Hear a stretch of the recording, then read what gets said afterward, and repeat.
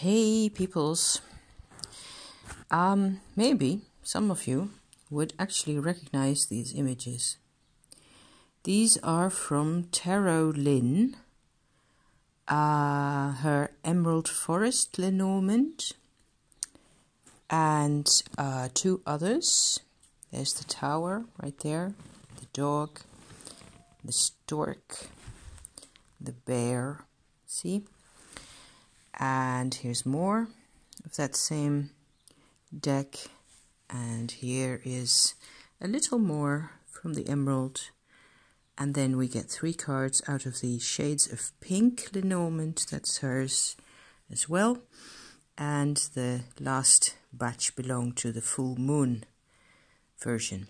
So these decks I could not find for sale anywhere for love or money, so to speak um, on the net anywhere as I am in the Netherlands also it's may it's it may be possible to get them in the States or on that continent but I've no idea really.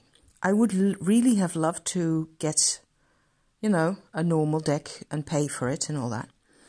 Instead what I did after a long search um, finding also that the website as it is advertised on several channels that promote her work, uh, doesn't seem to be up and running at the moment. There's just a sorry we're closed notice on there.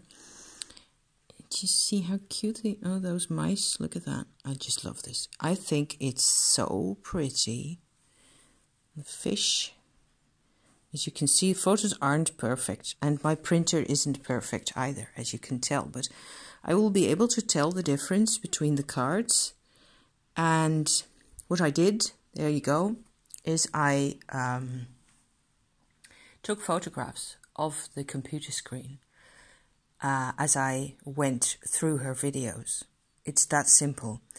And then I saved uh, the photos to my phone. I resized them on my phone, and I, um, you know, sent them on uh, into a Word document, and um, that's what this looks like. So I don't know, you know, in her memory, because I think this work is just glorious. Otherwise, it's cloudy and a bit rainy, and uh, I just want to wish everybody a nice weekend and with some fresh air, preferably. Thank you for being here, guys. Thank you for watching.